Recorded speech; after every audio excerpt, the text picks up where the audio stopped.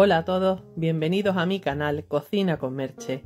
Vamos a preparar hoy un guiso súper fácil y muy económico, patatas viudas. Mira, empezamos echando un chorreoncito de aceite de oliva en nuestra olla. Vamos a encender nuestra candela y cuando ya esté calentito vamos a incorporarle un puerro partido a trocitos.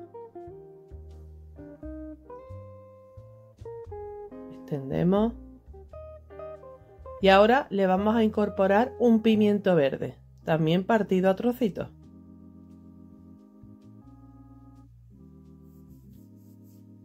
Y tres dientes de ajos picaditos.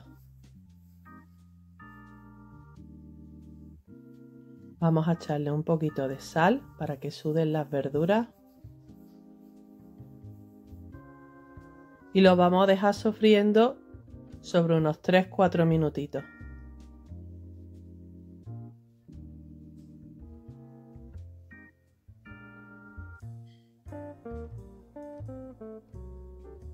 Ahora vamos a incorporarle una latita de pimiento morrón, ¿eh? pimientos asaditos que le va a dar un sabor exquisito.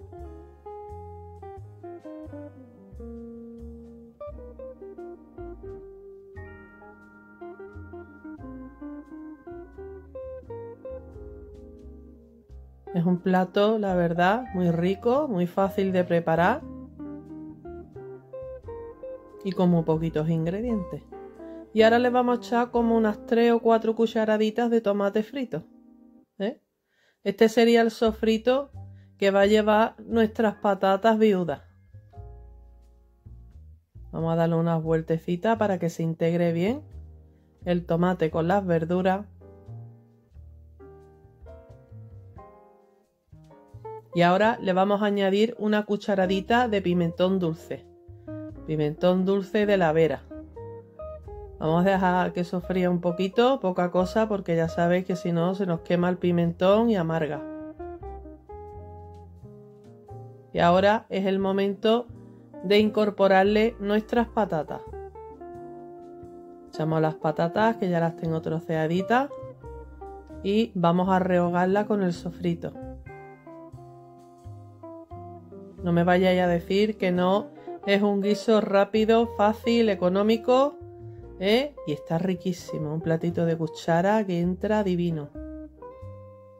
Vamos a añadirle agua hasta que cubra la patata. Así. Movemos un poquito.